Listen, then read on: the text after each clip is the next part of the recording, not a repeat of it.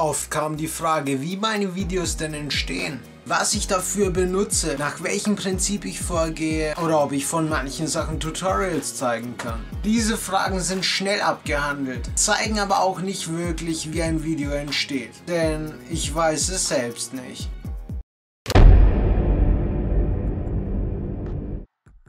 Kurze Vlogs ausgenommen bearbeite ich so gut wie alles mit Premiere Pro, After Effects und Photoshop. Kameratechnisch benutze ich eine Legria Mini X, PowerShot G7 und eine 600D sowie für Audio ein Rode NT1A, ein Blue Yeti Mic und Audition. Streng genommen beherrscht jeder Camcorder, jede DSLR, jedes Smartphone heutzutage mittlerweile HD. Jeder Zehnjährige schafft es heutzutage, sich ein Videoschnittprogramm zu cracken und jeder findet mittlerweile zu fast jedem erdenklichen Effekt online ein Tutorial zum Nachmachen oder gar als Template zum Download. Doch ist das dann Qualität? Und ist es auch, wenn es edel aussehen mag, gleich schön anzusehen? Du kannst auch mit der schlechtesten Handyqualität ein atemberaubendes Video zaubern, denn eigentlich kommt es nicht auf die optische Qualität, das rauschfreie Audio an oder einen bombastischen Schnitt.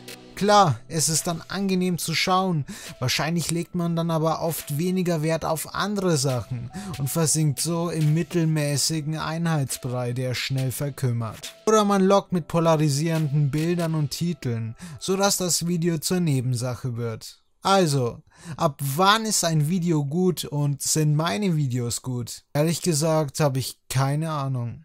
Man kann oft nur danach gehen, wie man etwas selbst gern sehen würde oder wie die Masse es aus Gewohnheit begeistern könnte. Aber weder das eine noch das andere muss gleich heißen, dass es gut wird. Gibt es eine Schritt-für-Schritt-Anleitung zum perfekten Video? Nein. Ich selbst habe oft eine Idee im Kopf oder gar ein Video, wenn ich einen Song höre Stehe ich dann vor der Videoaufnahme oder sitze am Schnitt, merkt man, man kommt so gut wie nie auf die Umsetzung, die man sich vorher im Kopf ausgemalt hat.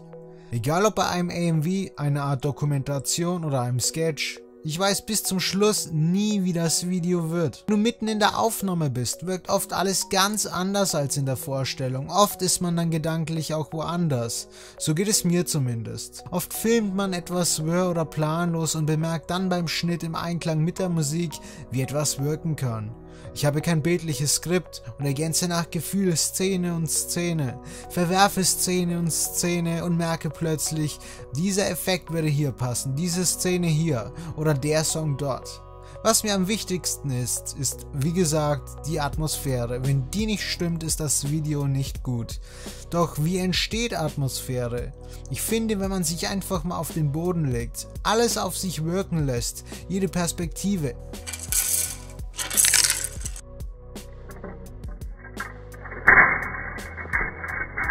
jedes Geräusch,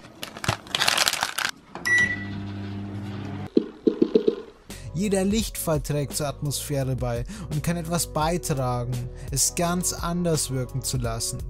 Jede Verkleidung oder Anzug, jedes Symbol oder Geste und natürlich jede Musik. Du kannst eine Szene verwenden und jedes Mal eine andere Musik drunter legen. Es wirkt jedes Mal anders. Es kommt darauf an, dass man sich mal traut, was auszuprobieren und auch mal Fehler in Kauf nimmt oder es auf den ersten Blick auch mal scheiße ausschaut. Zum Beispiel die Leftball Musikvideos sehe ich mir sehr gerne an, weil dort eben mit allem möglichen experimentiert wird. Und auch wenn du dir Mühe gibst, Sachen auszuprobieren und sich ein paar Schnittfehler einschleichen, ist es perfekter als ein komplett ohne Schneidefehler gehaltenes Video, das wie von der Stange wirkt. Jedes Körperteil, kann symbolisch anders wirken. Alles kann Inspiration sein. Viele werden sagen, ich habe doch jetzt gar nicht beantwortet, wie meine Videos entstehen.